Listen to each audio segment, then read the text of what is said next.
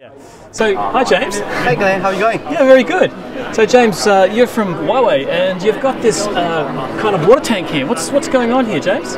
Well, this is uh, our 29.9 KTL uh, CN9 inverter for Huawei. As you can see, that it's got eight strings, uh, four MPPTs, and is IP65 rated. So we're putting shower head through to make to display that it's fully water resistant and fully sealed. It's working perfectly conditioned. Wow, that's amazing. So, IP65. Five. Okay.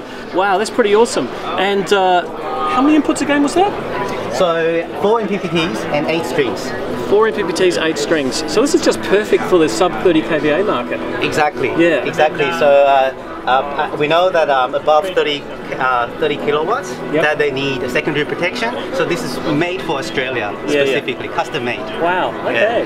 And how heavy is it?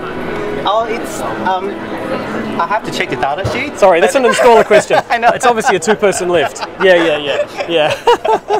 But uh, it, uh, as we know, it's it's uh, from all our installers. They said it's lighter and easier to install than other manufacturers. Right, Yeah. cool.